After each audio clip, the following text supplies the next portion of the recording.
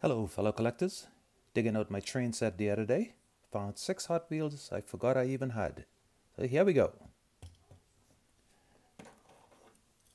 First one. Gran Torino.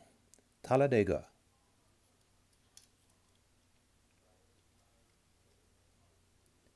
This one doesn't have a date on it. But I know it's from the 90s. All right, the next one up is 69 Camaro convertible. This one doesn't have a date on it either. But look, the Hot Wheels logo is cut out. Interesting. Next one up is 69 Cougar Eliminator. Doesn't have a date on it either. I know it's early 90s. Really nice finish.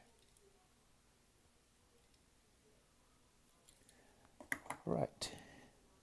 Now here's my favorite. 77 Dodge Tradesman Custom Van. Now this one is a 2007 model. And it actually has a custom interior. I don't think you could see through the smoke glass.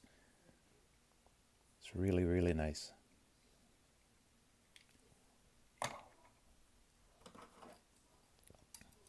Sixty-four Impala Lowrider. This is a 2003 model.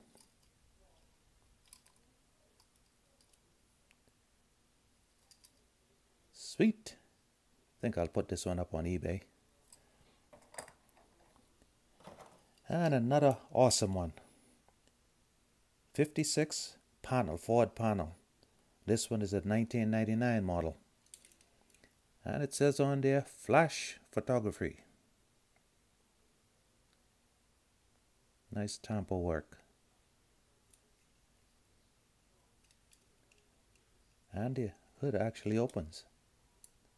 Small block, blown small block. Awesome. There you have it. Just a few of my oldies. Like and subscribe, and until my next video, See ya.